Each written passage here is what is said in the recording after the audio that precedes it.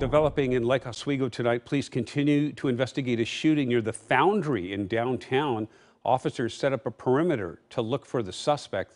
The man with the gun, we're told the accused shooter is an African American, goes by the name Moses. He's in his early 20s with short black hair, wearing black pants and a shirt and mismatched shoes. So if you see him or know where he is, you're asked to give police a call. We do know the victim left before police showed up.